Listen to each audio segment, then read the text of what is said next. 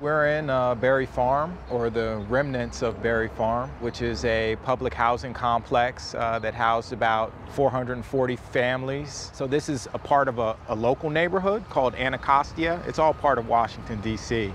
This is part of a redevelopment scheme of this area. Um, in the background, you see the Frederick Douglass Bridge right there.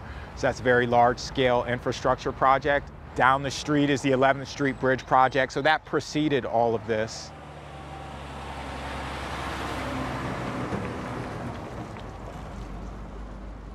There's two iterations of Barry Farm. There's Barry Farm as a former place where slaves lived, you know, because slaves came from all over the United States after the Civil War. They leased them land in Barry Farm, and so this was a formerly enslaved person settlement. In the 50s, uh, during urban renewal, the formerly enslaved settlement was destroyed. Then they built Barry Farm, the public housing complex. But now it's going to be uh, mixed income housing. And probably for the first time since it was a plantation, it's going to be majority white owned.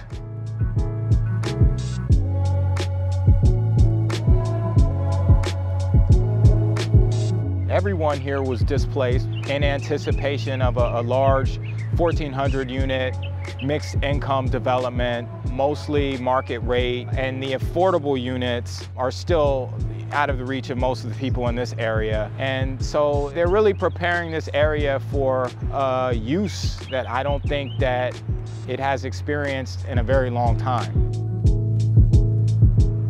We're in Barry Farms land development. This used to be property of free black military men who had families who were stationed over here, here in DC in the district. Over the time, um, a lot of the land had to be redeveloped because more income came in and more money being financed for this development to help reconstruct more housing, more opportunity, more work. So in order to do that, they had to tear it down and redevelopment and offer opportunity for other people.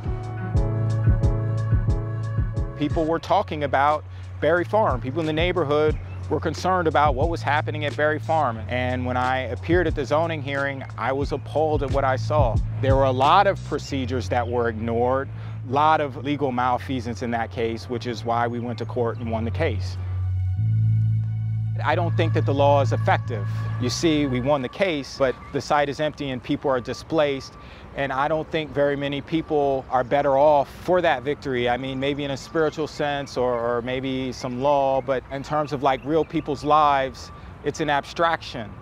Um, and so I don't think that the law is an answer to displacement. I, I think that the answer uh, to displacement is more of, um, you know, it, it, resides within the people and, and the will of the people and, and the kinds of uh, development and, and, the paradigms for development that we would like to see. But when people are upset about this and, and get involved, organize, and had enough, I, I think that's when we won't see this anymore.